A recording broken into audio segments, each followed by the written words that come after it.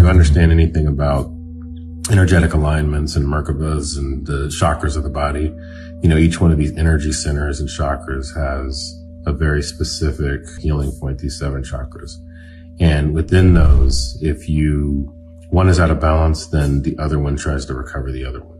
This whole thing here, like if my third eye is off, generally there's something wrong with my sacral or my sacral's off, something's wrong with my third eye. If my root is off, then my, you know, my crown is off. If my throat is off, you know, then my solar plexus is off. Okay. And all of this is built like this in order to protect your heart.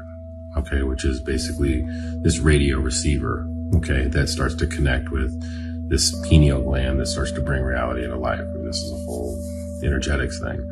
But when you do this with another human being and you understand feminine and masculine energy and you start to go through this process of unlocking each other, you literally create this kind of like Merkaba alignment where this is like the feminine energy, this is the masculine energy, and you start to unlock each other, and then time is a whole other dimension, and that's why you have this whole spinning process.